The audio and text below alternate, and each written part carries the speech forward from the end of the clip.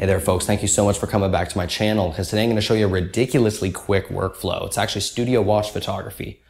And we're going to go through how to photograph watches um, in this sort of casual style. Like it's not symmetrical, uh, melt your face off catalog work that looks so gorgeous with diffusers. We actually just kept this super simple with speed lights and a kit lens. So, I mean, what can you say about this? It's masculine, it's nice and sparkly, it's sharp, and I think it might catch your eye in an Instagram feed. Now, I'm just going to hit this with the strip box. And you know, that's a approach I would take if I was shooting this watch. I would just put the strip box down because it's such a manageable rectangular shape and just fire off an exposure and see how the item's playing off the light.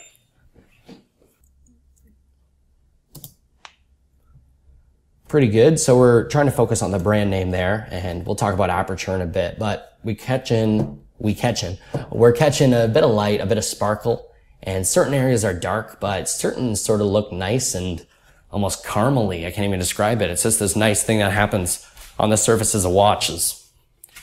Now, the first thing I'm going to do, and if you've been on my channel a few times, you'll have seen this, is bring in the black background. But I'm going to make sure it's facing at an angle perpendicular from our strip box. That way it won't catch any light.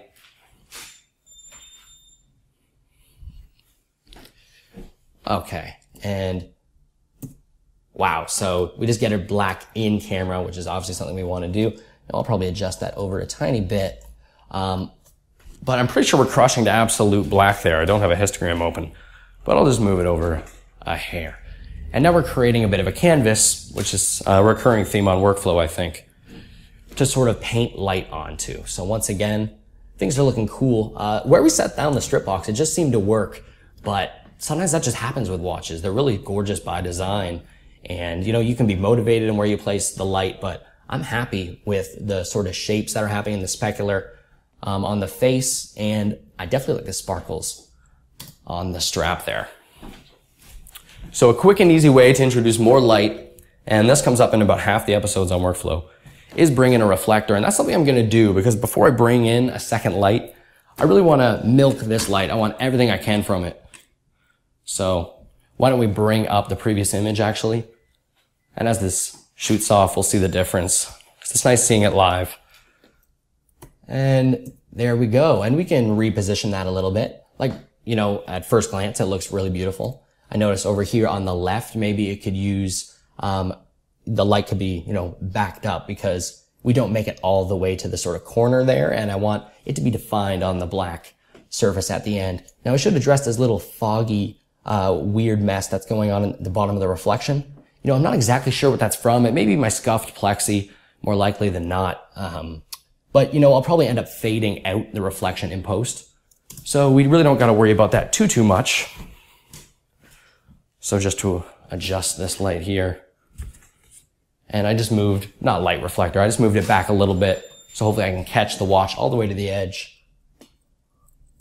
And it still looks a hair off. So I'm going to try to pivot it and you know, sometimes I will carry things in the studio.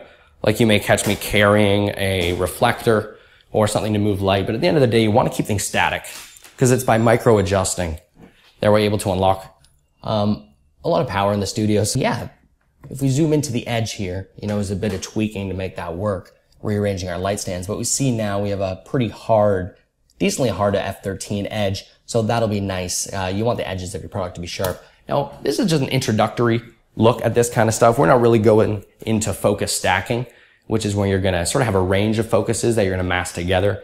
Maybe we'll touch on it at the end, but it is pretty introductory. So check out what we have so far.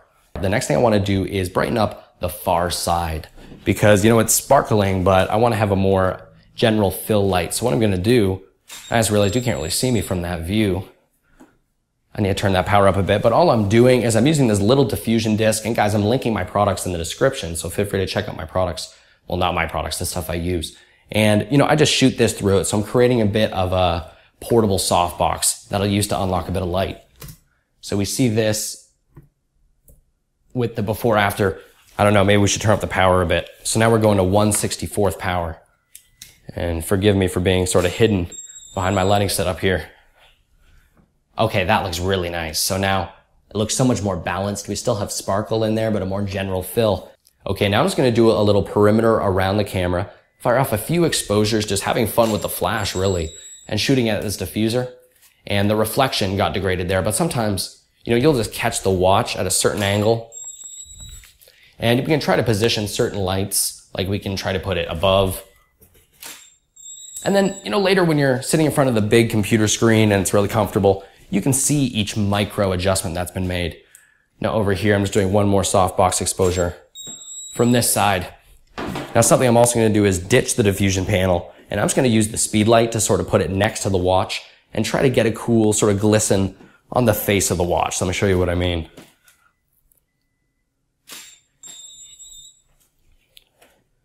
Now some of you, that introduced some nice light for sure. Some of you may just say, you know, why don't you just set all your lights up perfectly so you get it done in one shot? I know there's a lot of photography purists who will say that. In reality, you're going to end up with one exposure and it is your base shot. It's pretty much perfect.